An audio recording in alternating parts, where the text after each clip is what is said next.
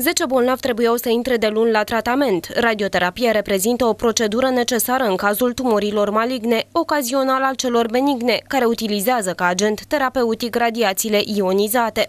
Tratamentul este prescris de medicul radioterapeut și durează în medie 5-6 săptămâni. Pe românește, această sursă de cobalt are o durată de viață, dincolo de care nu mai poate fi folosită, nemai îndeplinind condițiile fizice pentru a trata pacienții.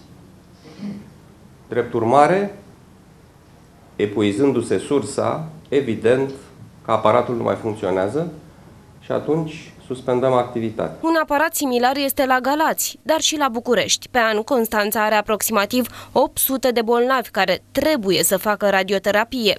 În uh, transportul o să-l asigurăm, uh, o să-l asigurăm noi, nu asta este marea problemă.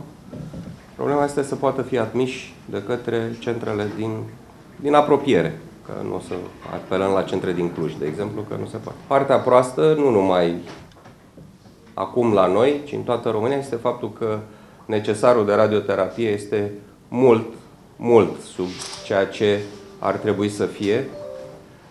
Uh, numărul de acceleratoare la mii de locuitori ne situează într-un, uh, iarăși într-un clasament nedorit, cam pe ultimul loc din uh, Europa.